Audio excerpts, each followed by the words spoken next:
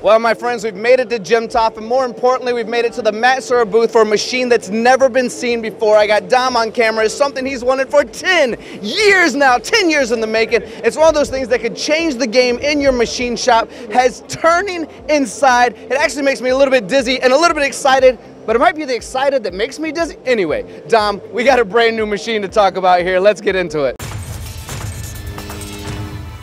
Let's get it right. Okay, so thank you. Welcome to the stand and welcome to Gym Thank you.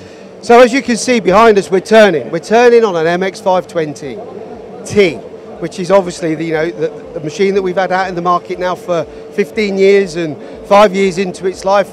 I was pushing Mr. Matsuura and Yuto for a turning one.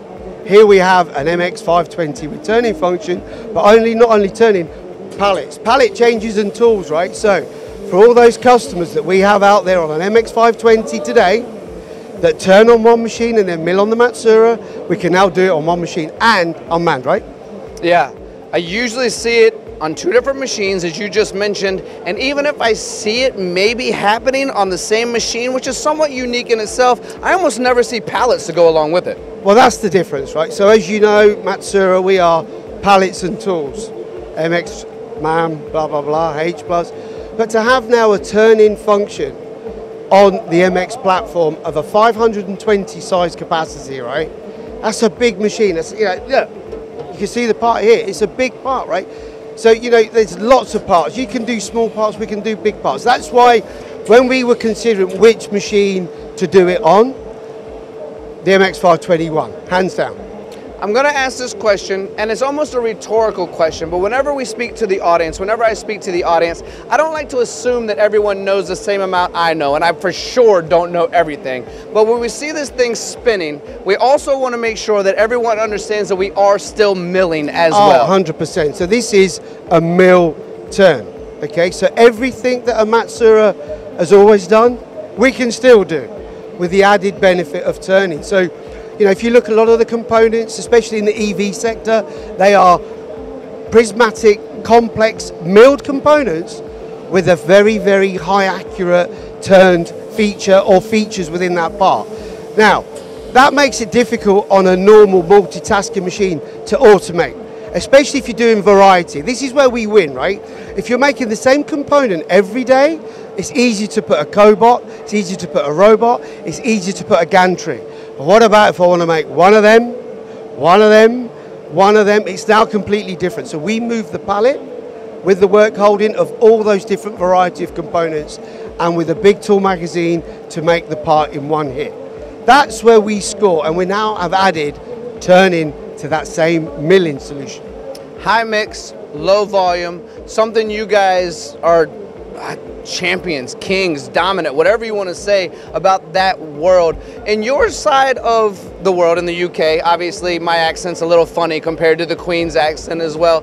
Do you also see where oftentimes people don't quite understand how when I say automation, they think I need to make a million parts and don't realize I can automate with high mix jobs. If I'm a job shop, I can't automate. I got to do everything one at a time. Do you guys have that same issue like oh, we have in the US? 100%. So, where you have low numbers, high variety, with repeat batches on a weekly, bi-weekly, monthly, bi-monthly basis, that is the perfect scenario for this style of machine. Why?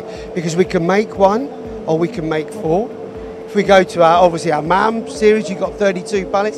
So the whole thing is about utilizing the pallet to give you flexibility, capability, variety. Lose the operator from changeover. When you start taking tools out of a, of a machine, when you start taking work holding off a machine, dead time. You cannot sell that time. If you leave the machine set to repeat that batch, what's your setup time? Zero. That's your score. That's your ROI. And on man running, right?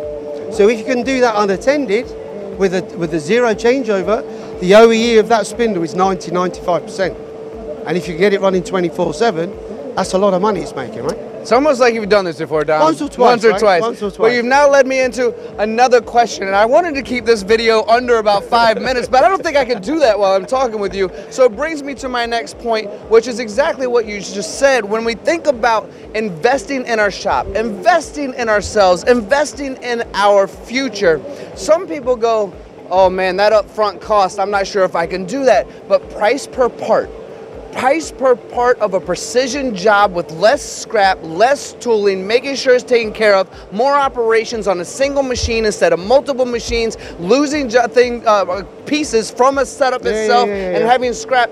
All of that at the end of the day is every piece of value in that immediate cost that you might see on that front line versus the back line. I'm going to give you one line. Oh, please do. Parts in the bin at the end of the shift. That's right. That you can sell. Done. That's what we give you. That's what Matsuura's philosophy is about, right? Is that drumbeat of parts with very very little setup time, repeat batches, like I said, weekly, bi-weekly. That variety mix is where we win. That's what we really sell, not volume. Volume's easy, right? You can buy a single machine with a robot. It's when you have to make five, two, three, ten, one hundred. That's where the job shop of the world loses money. And that's the bit we give you back. That's what we give the market.